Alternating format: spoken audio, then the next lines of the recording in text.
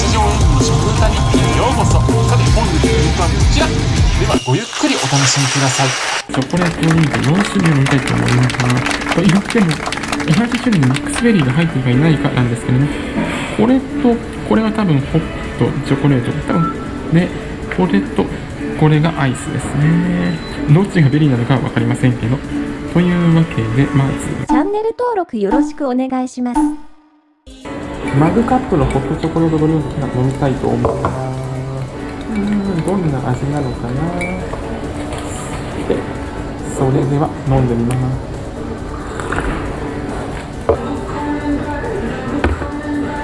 はい続きましてはアイスドリンクチョコレート。これはどっちかな。まあ飲んでみてのお楽しみででは続きましてはもう一つのホットうーん紙パックのけどこっちがフレーバー付きうんどうなんだろう？飲んでみましょう。はい。ラストは。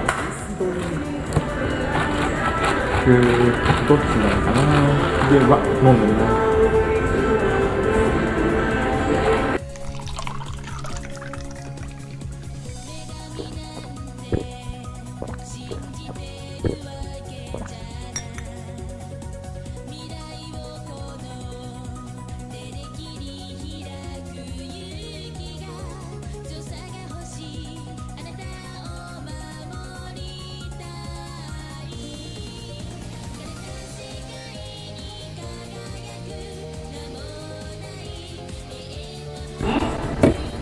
最初にあったこのワンカップグラスドリンクがシンプルな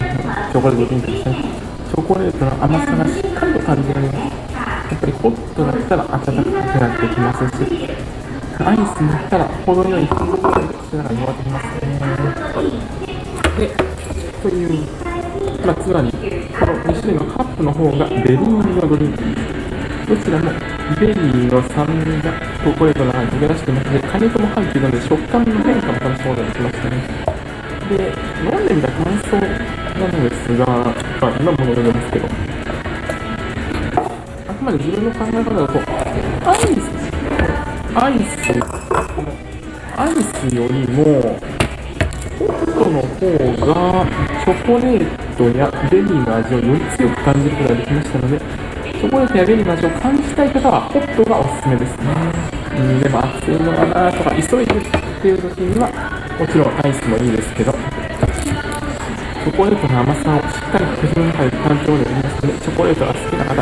甘酸っぱさが好きな方にはぜひ飲んでいただきたいです。というわけで、今回のチョコレートドリンクは、ベリーがあるのもないのもそれぞれの良さがあって、今月はちょっとつけがたいので、すべてともに、すべて5点とさせていただきます。お楽しみいただけましたかもしそうでしたらチャンネル登録コメント高評価よろしくお願いします。ではまた次回の演目でお会いしましょう。